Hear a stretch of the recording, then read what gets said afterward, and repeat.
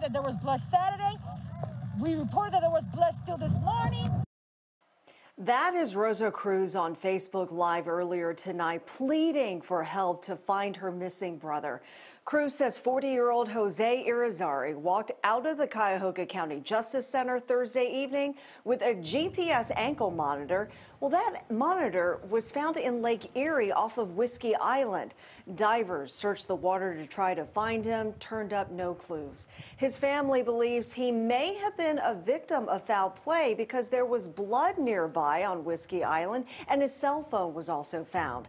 Rosa says someone out there may know something asking for everyone to please be on the lookout if you if you were around that area at that time and you saw something please say something if you know anyone who might have been at whiskey island please come forward and say what you know Rosa says her brother does suffer from depression. Cleveland police have listed Jose as a missing person. They say they are continuing to investigate.